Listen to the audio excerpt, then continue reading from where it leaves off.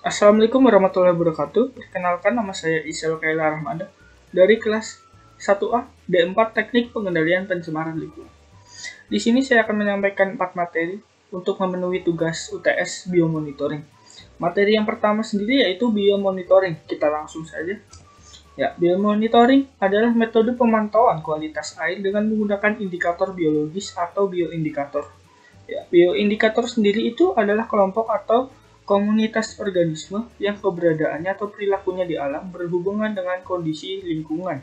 Nah, jadi apabila terjadi perubahan kualitas air, maka akan berpengaruh pada keberadaan organisme tersebut, sehingga dapat digunakan sebagai petunjuk kualitas lingkungan atau kualitas air tersebut.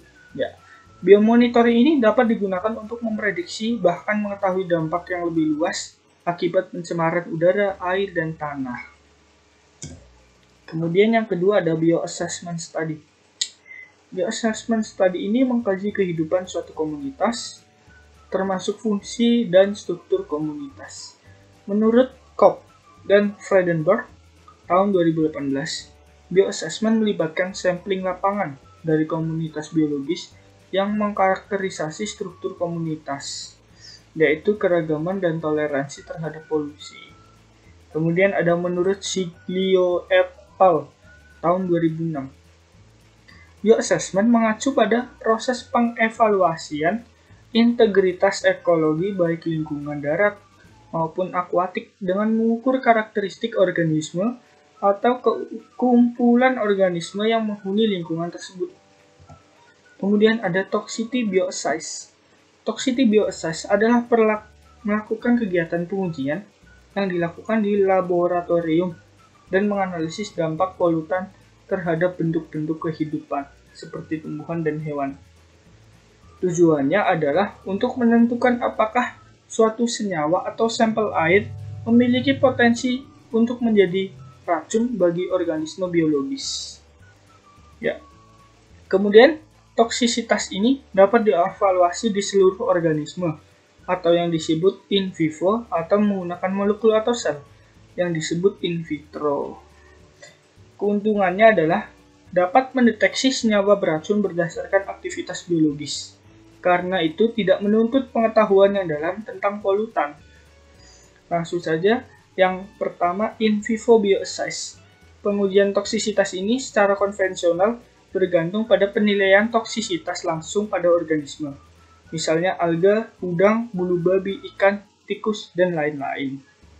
Kemudian yang terakhir ada bioassay, bioassay in vitro atau metode bioanalitik. Bioassay in vitro ini digunakan untuk penemuan obat-obat oleh industri farmasi selama beberapa dekade ini. Dalam bioassay in vitro, molekul misalnya enzim atau seluruh sel yang terpapar bahan kimia yang menarik dan dimonitor untuk menemukan respon yang bersifat spesifik. Namun, untuk toksisitas yang diinduksi secara kimia, interaksi permulaan bahan kimia pada tingkat molekuler atau seluler adalah prasyarat yang diperlukan, tetapi tidak cukup untuk melihat sifat toksisitasnya. Ya, untuk materi satu biomonitoring kita cukupkan.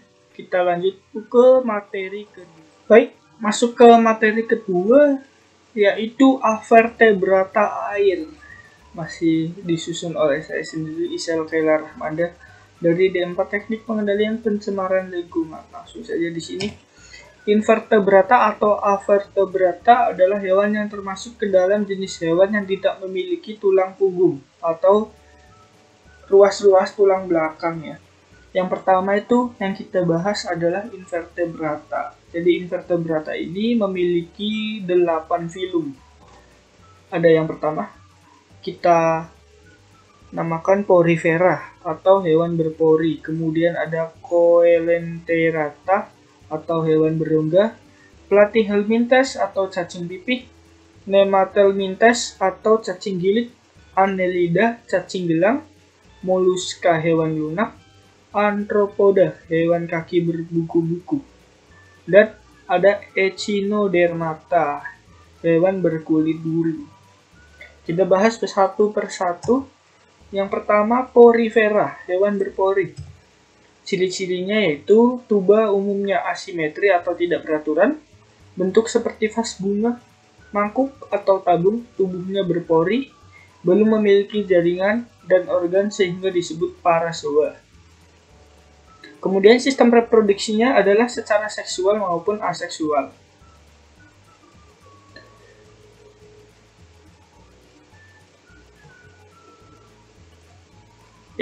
Di sini klasifikasi porifera berdasarkan bahan penyusun rangkanya itu ada kelas Hexatinellida memiliki spikula yang tersusun dari silika mirip bintang enam lengan. Kemudian ada kelas Demos Pongiae tersusun dari selabut spongin. Kelas Calcarea itu tersusun dari kalsium karbonat. Ya, di sini beberapa contohnya berada di dasar laut. Yang kedua ada Colenterata atau hewan berongga. Ya, ciri-ciri film Colenterata. Yang pertama memiliki rongga tubuh sehingga alat pencer sebagai alat pencernaan. Yang kedua memiliki sel penyengat. Kemudian simetri radial. Kemudian ada lagi berbentuk polip atau tabung dan medusa, seperti payung. Kemudian ada lagi, merupakan hewan diploba, diploblastik. Reproduksinya secara seksual dan aseksual. Pencernaan secara ekstraseluler dan intraseluler. Di sini berikut contoh gambar-gambarnya. Hewan Coelenterata. Kemudian ada klasifikasinya, dibagi menjadi tiga kelas, yaitu hidrozoa, contohnya ada hidra dan obelia. Kemudian ada sipozoa, contohnya ubur-ubur. Ada antozoa, contohnya metridium atau mawar laut. Ini contoh dari hidra. Kemudian di sini ada contoh dari sipozoa yang berbentuk melayang atau polip. Polip dan medusa. Di sini untuk contohnya ada ubur-ubur. Kemudian masuk ke yang ketiga ada platyhelminthes atau cacing pipih. Ciri-cirinya tubuh simetri, bilateral, pipih, dan tidak berongga. Pencernaan terdiri dari mulut, faring, dan usus tanpa memiliki anus, tidak memiliki sistem sirkulasi, respirasi, dan ekskresi. Habitatnya ada di air tawar, laut, tempat lembab, dan tubuh hewan lain, atau parasit. Lapisan tubuhnya triploblastik, dan ukuran tubuhnya mikroskopis hingga 20 meter. Klasifikasinya, yang pertama ada Turbelia, Turbelaria berambut getar, Contohnya adalah cacing planaria, kemudian ada trematoda atau cacing hisap, atau contohnya itu cacing hati, kemudian ada cestoda, cacing pitah. Contohnya Taenia saginata. Yang pertama masuk ke cacing getar atau cacing planaria. Silinia pada permukaan tubuh digunakan untuk bergerak. Ada susunannya di situ dari otak, mata, sensor, kemudian sampai ke mulut di bagian bawah. Ya, di sini ada prematoda atau cacing hati. Alat isap digunakan untuk menempel pada Oh, untuk menempel dan menghisap makanan pada inangnya. Berarti cacing hati ini termasuk parasit. Kemudian bagian tubuh cacing hati ada kepalanya, ada mulut yang di bagian tengah, kemudian ada sistem reproduksinya di bagian tengah dan ada di belakang. Kemudian masuk ke larva cacing hati. Cacing hati ini berada di tubuh manusia. Kemudian ada cacing pita yang juga berada banyak di tubuh hewan dan tubuh manusia. Kemudian ada struktur cacing pita itu sendiri, bentuknya seperti pita. Tubuh terdiri dari bagian skoleks, leher, dan prolotid bagian kepalanya seperti ada kumisnya, kemudian bergerigi. Masuk ke yang keempat, Nematelmintes atau cacing gilik. Hidupnya bebas atau parasit, hidup di tanah becek, di dasar perairan tawar atau laut bebas. Reproduksinya secara seksual saja. Yang parasit dalam tubuh manusia ada cacing gelang, cacing tambang, cacing kremi, cacing trichinella. Di sini ada contohnya Ascaris lumbricoides atau cacing perut. Ukuran cacing yang betina lebih besar daripada ukuran cacing yang jantan. Tubuhnya bisa sampai 40 cm. Banyak ditemukan di sekitar usus. Kemudian ada Annelida atau cacing gelang. Annelida hidup bebas di dasar laut, perairan tawar, tanah, dan tempat-tempat yang lembab atau parasit pada tubuh vertebrata. Reproduksinya secara seksual atau aseksual. Klasifikasinya dibedakan menjadi tiga, yaitu Polychaeta, Oligochaeta, dan Hirudinea. Baik, tadi sudah disebutkan Polychaeta itu rambut banyak. Contohnya cacing palolo, cacing wawo. Kemudian ada Oligochaeta atau rambut sedikit, contohnya cacing tanah dan cacing darah. Yang terakhir, hiruda, hirudinae atau lintah dan pacet. Ya, masuk ke contoh yang pertama di sini ada lintah atau hirudo medicinalis ya. Contohnya bisa terlihat dan yang di sebelah kanan di situ ada pacet. Di sini ada cacing tanah dan bagian-bagiannya. Ada mulut di bagian depan atas ya. Kemudian ada clitellum jadi di dekat mulut itu pasti ada klitelum. Kemudian yang di belakang itu ada anusnya. Masuk yang keenam, moluska atau tubuh lunak. Hewan ini tiploblastik silomata dengan simetri bilateral bertubuh lunak hidup bebas di bawah laut, air tawar, atau darat. Klasifikasinya dibedakan menjadi tiga kelas, yaitu gastropoda, polisipoda, dan cephalopoda. Kata konsepnya di sini moluska memiliki ciri-ciri, dasar, dan klasifikasi. Ya, terdiri dari gastropoda. Seperti yang tadi kita akan lanjut untuk membahas secara detail. Yang pertama gastropoda, kaki di perut. Contohnya yaitu siput dan keong. Kemudian struktur gastropoda. Ada rahang nomor 1, lidah nomor 2, lambung nomor 3, hati, anus, kaki, dan seterusnya sesuai dengan nomor. Habis itu ada sepalapoda, kaki di kepala, yaitu adalah cumi-cumi, gurita, dan sotong. Untuk struktur bagian tubuhnya ada tentakel, penghisap, mulut, faring, mata, hati, anus, rektum, kantung tinta, esofagus, insang, ginjal, jantung, dan cangkang bagian dalam. Oke, masuk Palesipoda kaki kapak. Kaki kapak ini contohnya yaitu Tridacna, tumbuhan eh tumbuhan hewan yang berhidup di dasar laut. Gambarnya bisa dilihat. Kemudian ada Ampineura atau kaki pipih. Contohnya Cryptositon sp atau kiton. Hidupnya juga berada di dasar laut. Kemudian ada Scapopoda ini hidup mengambang di permukaan dan berada di pasir.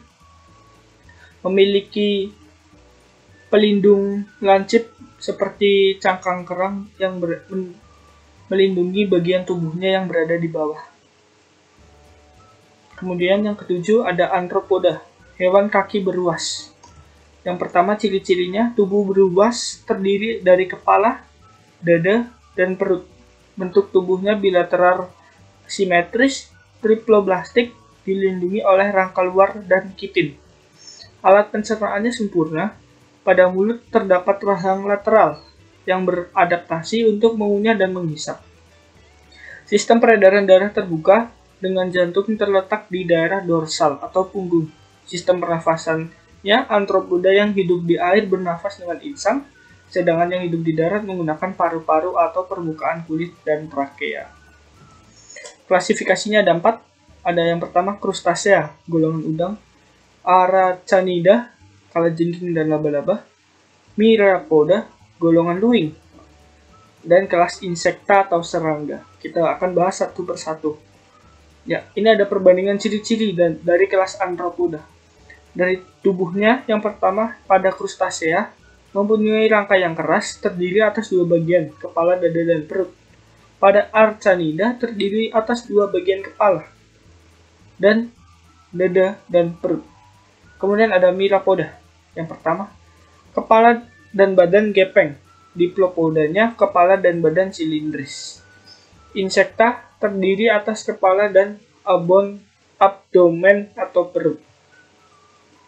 Langsung ke kaki, satu pasang pada setiap segmen tubuh untuk krustasea dan untuk aracanida 4 pasang pada kepala dan dada. Untuk mirapoda, satu pasang atau dua pasang pada setiap ruas tubuh, dan insekta, tiga pasang pada dada atau tidak ada. Untuk sayap, krustasia tidak memiliki sayap, Artsanida tidak memiliki sayap, Mirapoda tidak memiliki sayap, dan pada insekta, dua pasang atau tidak ada pada tubuhnya. Kemudian ciri yang kedua, pada antena, krustasea memiliki dua, Archahanida tidak ada, Mirapoda satu pasang dan panjang pada Chilopoda dan Diplopoda satu pasang dan pendek. Insekta memiliki satu pasang antena. Kemudian organ pernafasan. Untuk krustasea sendiri, insang atau seluruh permukaan tubuh. Archanida menggunakan paru-paru buku, Mirapoda menggunakan trakea, dan insekta juga menggunakan trakea. Tempat hidupnya, krustasea ada di air tawar dan air laut, Archanida di darat, Mirapoda ada di darat, dan Insecta ada di darat. Masuk contoh yang pertama tadi yaitu krustasea atau udang. Di sini bisa dilihat bagian antenanya, bagian kaki, dan bagian capit. Kemudian ada lobster juga masuk ke contoh krustasea. Ya, beberapa contoh dekapoda atau uriannya. Udang ini contoh-contohnya ada udang windu hidup di air payau, bisa dikonsumsi dan banyak dibudidayakan. Kemudian ada udang galah, sama bisa dikonsumsi dan hidup di air tawar air payau. Kemudian ada udang air tawar, udang karang. Kemudian ada udang sotong atau Palaemon carcinus. Kemudian ada ketam, kepiting, rajungan, yuyu, kepiting, ketam kenari. Baik, Peran krustasea pada kehidupan masyarakat sebagai bahan makanan berprotein tinggi, misalnya udang, lobster, dan kepiting, dan bidang ekologi, hewan ini tergolong zooplankton, menjadi sumber makanan ikan misalnya anggota Branchipoda, Ostracoda, dan Copepoda.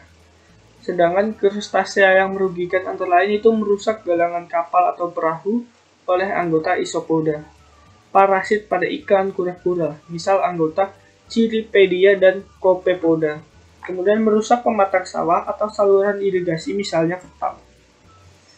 Kemudian ada Arcinida atau laba-laba. Pada Arcinida ini masih diklasifikasikan yang pertama ada Scorpionida, Archinoida, dan Akraina. Akarina. Baik, Scorpionida atau kalajengking. Contohnya yaitu kalajengking atau Nama latinnya adalah Vejovis sp, Haldrurus sp, dan Centrurus sp. Kemudian ada ketonggeng atau nama latinnya butus. Hewan ini memiliki perut berluas-luas dan ruas terakhir berubah menjadi alat pembela diri atau menjadi sengatan. Kemudian ada laba-laba Archinoidea. Laba-laba jaring kubah. Beberapa contohnya ya laba-laba primitif, laba-laba penjerat, laba-laba pemburu, laba-laba serigala, laba-laba beracun, dan ada tarantula. Ya, untuk gambar ini dicontohkan yaitu laba-laba tarantula. Kemudian ada akarina atau tungau.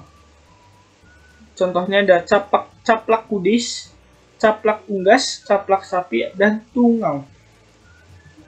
Peran Archanida bermanfaat mengendalikan populasi serangga terutama serangga hama. Akan tetapi hewan ini banyak juga yang merugikan manusia, terutama hewan akarina, misalnya caplak menyebabkan gatal dan kudis, Soreptes equi menyebabkan kudis pada ternak domba, kelinci dan kuda. Kemudian ada Ododectes sinotis, tungau kudis telinga, menyerang anjing dan kucing. Yang terakhir ada Myriapoda atau lipan. Klasifikasinya ada Silopoda, kaki satu pasang tiap ruas, dan Diplopoda, kaki dua pasang tiap ruas.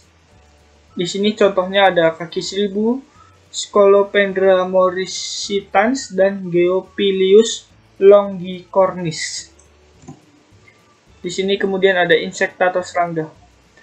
Masih ada pembagiannya lagi, hemimetabola atau metafor metamorfosis tidak sempurna dan holometabola, metamorfosis sempurna. Kita akan bahas satu persatu. Hemimetabola atau metafor metamorfosis tidak sempurna itu pertama yaitu telur, kedua nimfah, serangga muda yang mempunyai sifat dan bentuk sama dengan dewasanya, namun mengalami pergantian kulit Kemudian yang ketiga adalah imago atau dewasa. Fase ini ditandai dengan berkembangnya semua organ tubuh dengan baik termasuk alat perkembangan, biak, alat perkembang biakannya serta sayapnya. Holometabola atau metamorfosis sempurna. Tahap-tahap dari daur serangga yang mengalami metamorfosis sempurna adalah telur, larva, pupa, dan imago. Larva adalah hewan muda yang berbentuk dan sifatnya berbeda dengan dewasa. Pupa adalah kepompong, di mana pada saat itu serangga tidak perlu melakukan kegiatan. Kemudian ada imago adalah fase dewasa atau fase pengembang biakannya. Peran menguntungkannya yaitu golongan kupu-kupu dan lebah membantu para petani karena membantu proses penyerbukan pada bunga. Insekta dibudidayakan untuk menghasil madu, misalnya lebah Kemudian dalam bidang industri kupu-kupu, ulat sutra membuat kepompong yang dapat menghasilkan sutra. Contohnya ada bombik mori. Untuk dimakan misalnya lalor, larong, gangsir, dan larva lebah atau tempayak yang dapat diperoleh secara musiman. Peran merugikannya ada banyak. Contohnya, menularkan beberapa macam bibit penyakit seperti tikus, kolera, dan disentri pada lalat dan kecoa merusak tanaman budidaya manusia seperti belalang, kumbang, dan ulat, menyebabkan penyakit pada tanaman, menyebabkan penyakit virus tungro, belalang sangit yang menghisap cairan biji padi muda sehingga tanaman padi menjadi puso. Ya, yang kedelapan Echinodermata, hewan kulit berduri. Echinodermata duri tumpul atau runcing memiliki sistem ambulakral, sistem syaraf, sistem pencernaan, respirasi dengan insting pada rongga tubuh, reproduksi seksual secara eksternal dan beregenerasi. Yang kedua klasifikasinya menjadi lima. Asteroidea, Ophiusoidea, Echinoidea, Holoturoidea, dan Crinoidea. Echinodermata menguntungkan manusia antara lain untuk makanan dan bahan penelitian ataupun yang merugikan karena beberapa jenis merupakan predator moluska yang dimanfaatkan manusia. Sistem tubuh Echinodermata, sistem reproduksinya memiliki jenis kelamin terpisah sehingga ada yang jantan dan betina. Fertilisasi terjadi di luar tubuh yaitu di dalam air laut. Sehingga pencernaan sistemnya pencernaan makan hewan ini sudah sempurna. Sistem pernafasan menggunakan paru-paru kulit atau dermal branchiae. Sistem peredaran darah Echinodermata umumnya tereduksi, sukar diamati. Kemudian sistem saraf terdiri dari cicin saraf dan tali saraf. Kemudian kelas-kelasnya seperti tadi bentuknya juga sama. Kemudian peta konsepnya terdiri dari asteroida, echinoidea, opiuroidea, crinoidea, holoturoidea. Yang pertama, aste asteroidea adalah bintang laut sebagai contoh. Ada Echinoidea, landak laut atau yang bisa kita sebut bulu babi. Ada Ophiuroidea, bintang ular. Bintang laut yang memiliki cabang-cabang yang seperti ular. Kemudian ada Crinoidea atau lilia laut kemudian ada Holoturoidea, mentimun laut. Kemudian yang terakhir kita masuk ke perikanan berdasarkan sifat-sifat dan cara hidupnya. Yang pertama ada plankton. Plankton didefinisikan sebagai organisme renik yang bergerak mengikuti arus ataupun yang hidup dalam zona pelagik yang hidup di bagian atas samudera. Secara luas, plankton dianggap sebagai suatu organisme terpenting di dunia karena menjadi bekal makanan untuk kehidupan akuatik. Plankton terbagi dua, yaitu fitoplankton dan zooplankton. Mereka terdiri dari organisme, tumbuhan, dan hewan dengan kemampuan bergerak terbatas karena mengikuti pergerakan arus. Kemudian ada perifiton, adalah kumpulan jasad renik hewan maupun tumbuhan-tumbuhan, kumpulan ganggang, dan mikroinvertebrata yang hidup menetap di sekitar epifiton dalam perairan tawar. Sebagian besar perifiton berupa amuba, cacing rotaroid, dan udang renik. Jasad renik tersebut melekat pada permukaan yang terendam di dalam air. Contohnya seperti gambar yang ada di samping, karang hijau dan kumpulan jasad renik menempel pada suatu pondasi atau trek dam yang terendam di dalam air. Kemudian yang ketiga ada bentos, merupakan hewan dan tumbuhan-tumbuhan yang hidup di atas atau di bawah dasar laut pada wilayah yang disebut zona bentik maupun dasar daerah tepian. Bentos berbeda dengan plankton yang hidup mengambang bebas di air. Beberapa organisme bentik bahkan belum sepenuhnya dipahami sehingga penelitian harus berlangsung untuk mengungkapkan rahasianya. Organisme ini mengonsumsi bangkai hewan yang tenggelam ke dasar laut mengeluarkannya sebagai kotoran, dan kemudian larut menjadi nutrisi yang akan dibawa kembali ke permukaan dan dipergunakan oleh organisme lain. Kemudian ada nuston, adalah istilah untuk organisme yang mengapung di atas air atau tinggal tepat di bawah permukaan. Nuston ini terkadang hanya mengandalkan tegangan permukaan air untuk mempertahankan posisinya. Contohnya ada ikan terbang yang terakhir ada nekton, adalah hewan-hewan laut yang dapat bergerak sendiri ke sana dan kemari seperti ikan dan bertulang rawan. Ikan bertulang sejati, penyu, ular laut, dan mamalia laut, yang semuanya termasuk vertebrata. Sotong dan cumi-cumi yang termasuk moluska juga dapat termasuk nekton. Tidak ada tumbuh-tumbuhan yang mampu berenang, jadi tidak ada tumbuhan yang tergolong ke dalam kelompok nekton. Ya, baik. Untuk materi kedua, yaitu invertebrata dan vertebrata saya cukupkan dan kita lanjut ke materi ketiga. Baik, materi yang ketiga yaitu ekosistem air tawar dan air laut. Masih bersama saya Isel Khaira Rahmada. Kita langsung ke slide yang pertama, ekosistem air tawar dan air laut. Ekosistem sendiri itu ada suatu sistem di alam di mana di dalamnya terjadi hubungan timbal balik di antara organisme dengan yang lain, serta kondisi lingkungannya. Ya, ekosistem terdiri dari komponen biotik dan abiotik. Yang pertama, apa sih itu komponen abiotik? Biotik adalah lingkungan hidup, eh, makhluk hidup.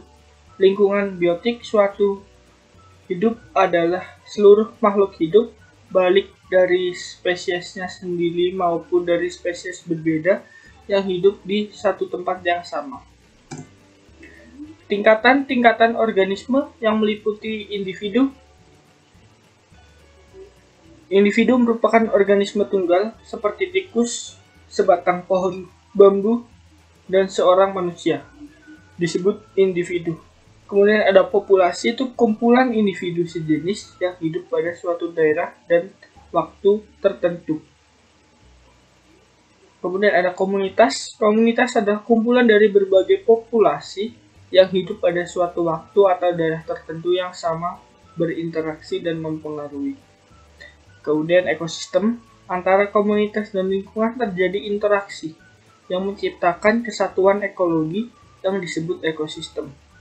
Kemudian ada biosfer. Biosfer itu seluruh ekosistem di dunia disebut biosfer. Setiap makhluk hidup menempati lingkungan yang cocok untuk ditinggali atau dihidupinya. Yang kedua ada komponen abiotik. Abiotik adalah bukan makhluk hidup atau komponen tak hidup. Komponen abiotik merupakan fisik dan kimia tempat hidup makhluk hidup. Contohnya adalah cahaya, air, kelembapan udara, garam-garam mineral, dan tanah. Ada yang pertama yaitu suhu. Suhu atau temperatur adalah derajat energi panas. Sumber utama berasal dari radiasi matahari. Kemudian eh, cahaya merupakan salah satu energi yang bersumber dari radiasi matahari juga. Ada beberapa macam cahaya matahari, ada panjang gelombang, intensitas cahaya, lama penyinaran untuk proses fotosintesis pada tumbuhan. Kemudian ada air terdiri dari molekul H2O. Air dapat berbentuk padat, cair, dan gas. Kemudian ada kelembapan. Kelembaban merupakan salah satu komponen abiotik di udara yang berarti kandungan uap air di udara.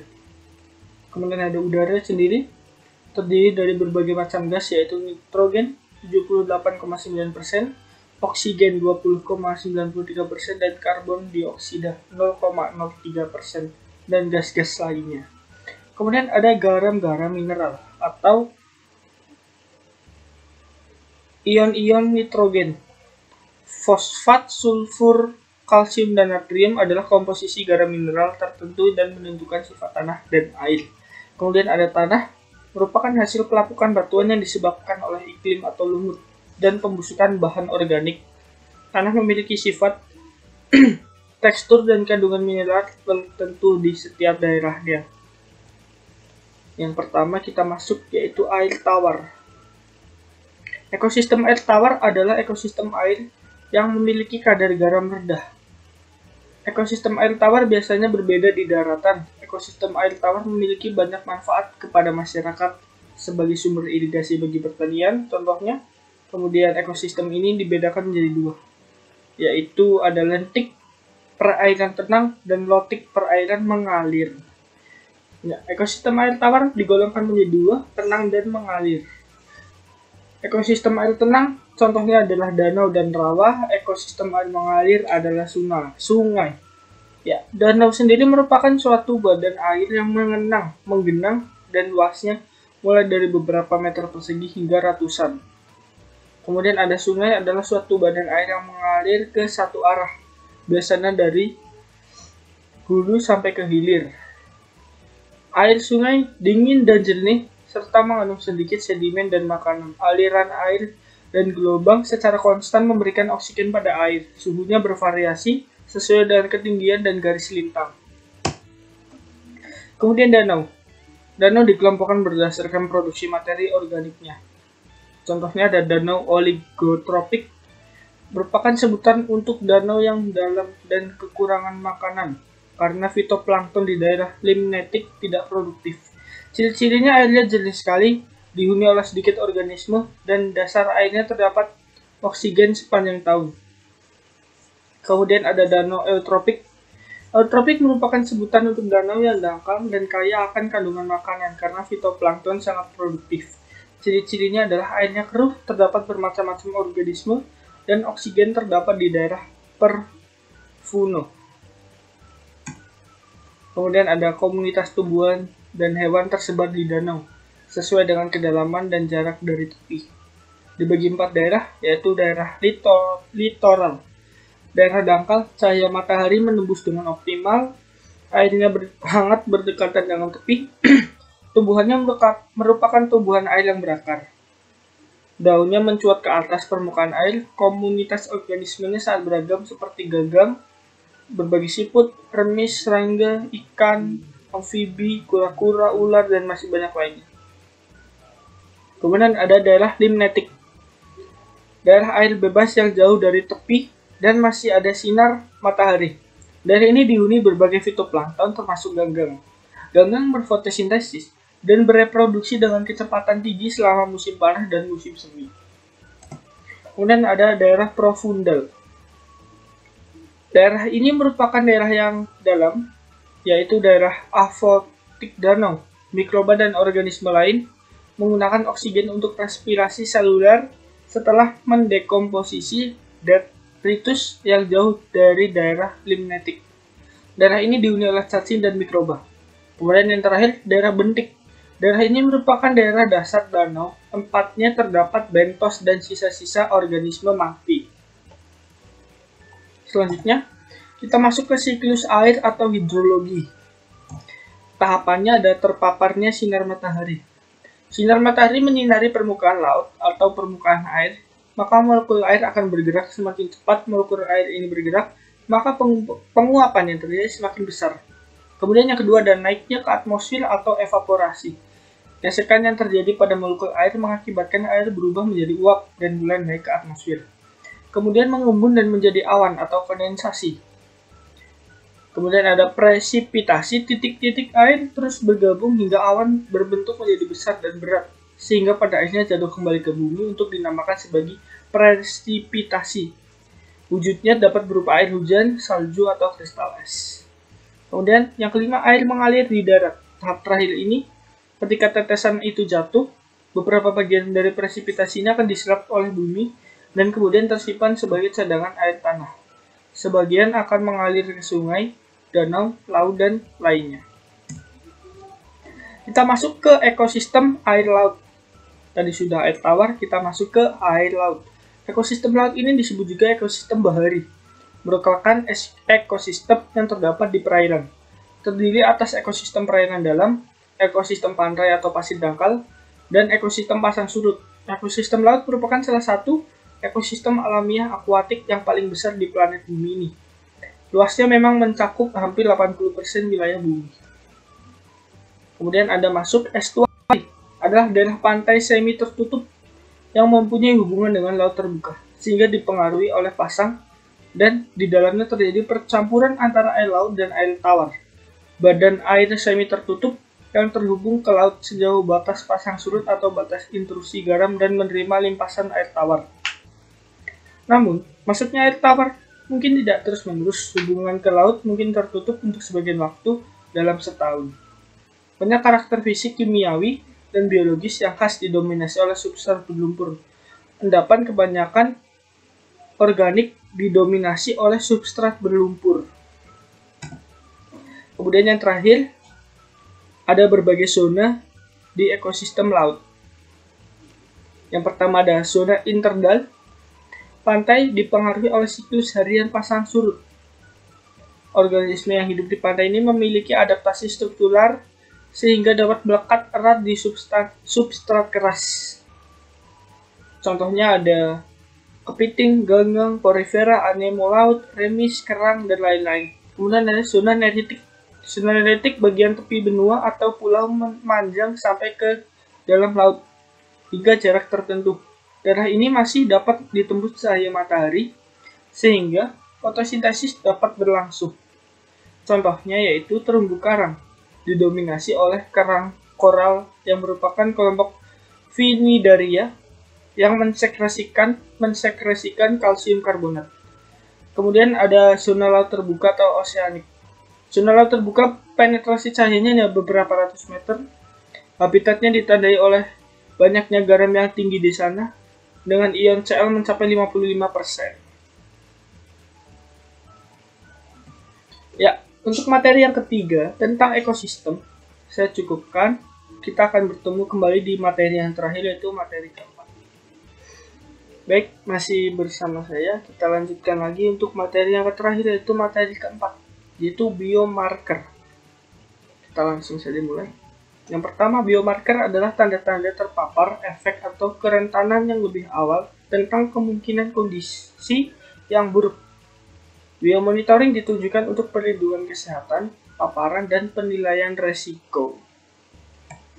Cakupannya yaitu, secara sempit, biomarker dapat didefinisikan sebagai respon biologis terhadap bahan kimia atau sekelompok agen kimia, tetapi kehadiran agen atau metabolitnya tidak dalam tubuh tidak ditemukan atau dosis internal.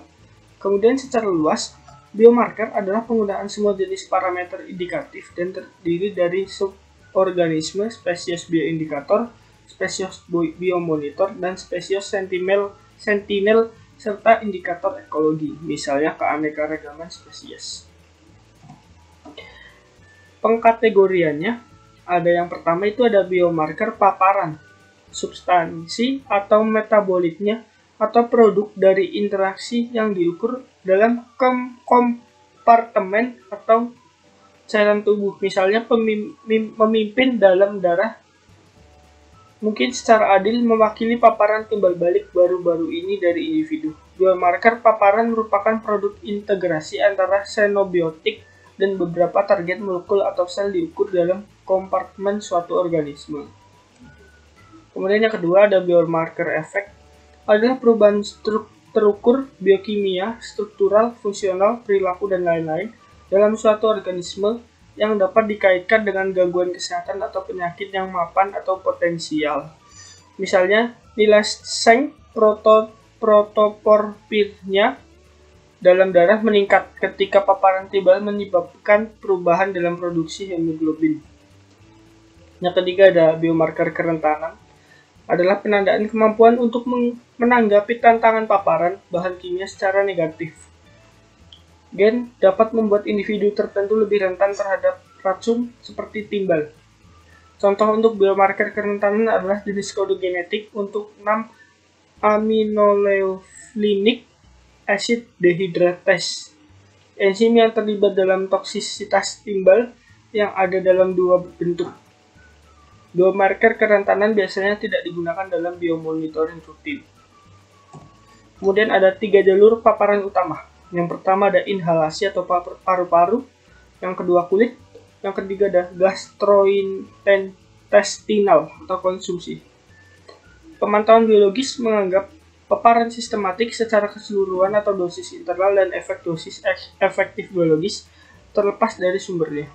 Biomarker mungkin juga mencerminkan keadaan seperti perubahan tekanan atmosfer, ekspo, eksposur, dan laju pernafasan. Kemudian latar belakangnya ada siklus kimia dan atau metabolitnya di dalam tubuh.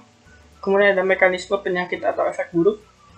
Kemudian yang terakhir ada cara faktor individu mempromosikan bahan kimia untuk menyebabkan penyakit atau efek.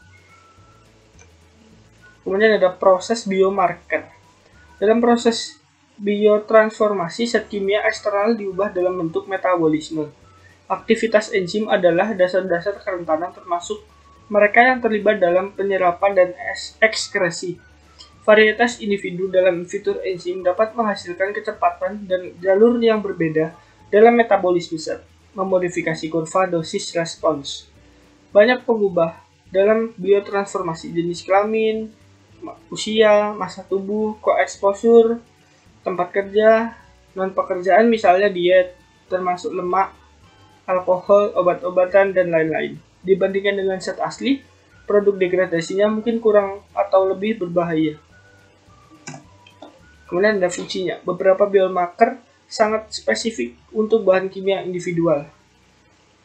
Kemudian untuk contohnya, biomarker lain juga divalidasi dengan baik, tetapi mereka memiliki aplikasi yang lebih luas dan cenderung untuk merespon kelas bahan kimia yang lebih luas. Contohnya ada biomarker ini adalah induksi protein, multiplexonibiotic resistance atau MXR, stres pembentukan DNA, edak, dan perubahan DNA lainnya, dan juga merupakan lisosom pada pencernaan moluska.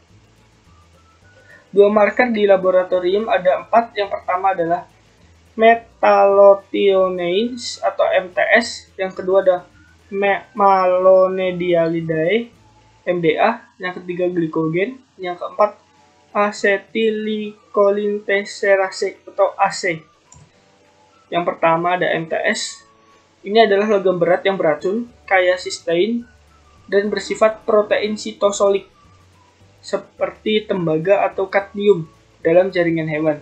Selain itu, konsentrasi MTS ini dalam moluska juga dapat bervariasi karena dipengaruhi oleh polutan non-metalik. Oleh karena itu, muncul gagasan bahwa MTS dapat digunakan sebagai penanda biologis untuk pencemaran lingkungan dengan mengukur konsentrasinya dalam tubuh moluska yang hidup di habitat yang terkontaminasi. Ada MDA, MDA adalah produk peroksidasi lipid karena produksi oksiradikal yang berlebihan dalam sel setelah paparan kontaminan atau stres karena kondisi alam. Peroksidasi lipid dianggap sebagai fitur penting dalam cedera seluler.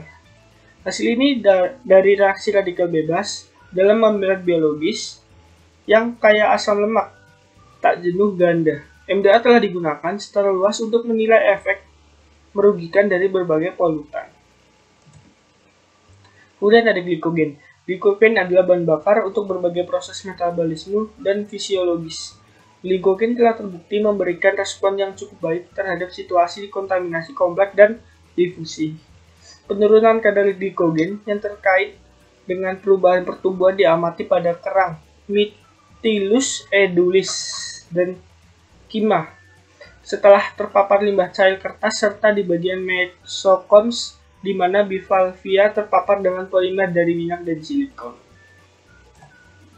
Yang terakhir ada acetylcholinesterase.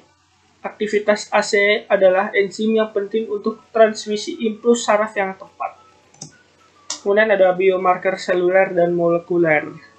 Penggunaan biomarker diukur pada tingkat molekuler atau seluler telah diusulkan sebagai teknik peringatan dini yang sensitif untuk pengukuran efek biologis dalam penilaian kualitas lingkungan. Biomarker yang dipilih harus menunjukkan bahwa organisme telah terpapar polutan dan atau besarnya respon terhadap polutan. Kemudian biomarker peringatan dini ini dapat digunakan dengan cara kerja prediktif, memungkinkan untuk diinisiasi atau strategi bioremediasi sebelum kerusakan lingkungan yang bersifat irreversible terjadi yang tentunya memungkinkan terjadi dampak atau konsekuensi ekologis. Kemudian ada ekotoksikologi. Menurutlah tahun 2018, ekotoksikologi adalah disiplin yang relatif baru dan pertama kali didefinisikan oleh René Truhaut pada tahun 1969.